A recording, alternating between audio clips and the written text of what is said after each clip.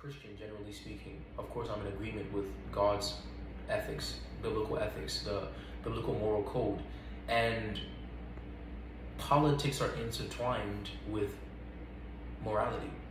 Because when we're dealing with politics, we're dealing with laws, we're dealing with policies, and these policies affect people.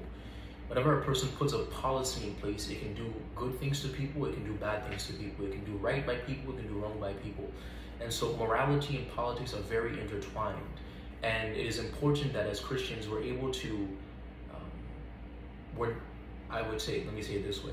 As Christians, we should not disassociate our political philosophies and beliefs from our moral code because of how intertwined politics are with morality. Like when we discuss abortion, obviously it's a moral debate, it is a moral argument.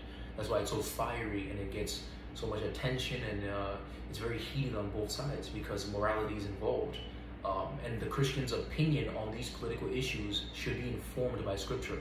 And so choosing to speak about these subjects is not straying away from theology. Theology is very involved because once morality is involved, God is involved because God loves people and God doesn't like when bad things are done to people because God loves people, right? Whether the bad thing is spiritual or natural or social or political or economic, it doesn't matter.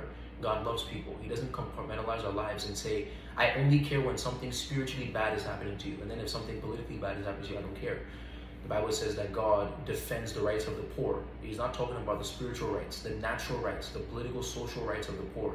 And so God is not just considered or considerate of our social or our spiritual welfare rather, but he's also considerate of our political and social welfare.